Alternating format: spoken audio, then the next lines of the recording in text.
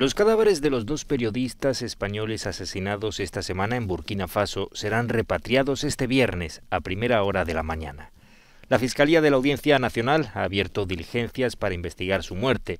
David Beriain y Roberto Fraile se encontraban en la Reserva Natural de Pama, en el sureste del país, realizando un reportaje sobre la caza furtiva cuando fueron atacados por un grupo de hombres armados. Aunque un grupúsculo cercano a Al-Qaeda se ha atribuido la autoría del ataque, la ministra de Exteriores española insiste en conocer todos los detalles de lo ocurrido. Hemos pedido también a las autoridades de Burkina Faso que investiguen los hechos, que los esclarezcan, que identifiquen a los responsables para que estos puedan comparecer ante la justicia. No queremos que hechos como estos, terribles, ni caigan en el olvido ni caigan en la impunidad. Sin embargo, al menos en público, las autoridades de Burkina Faso no muestran el mismo empeño que las españolas en saber qué ocurrió y por qué. El terrorismo, insinúa el portavoz del gobierno, lo explica todo. El terrorismo. El terrorismo no hace distingos.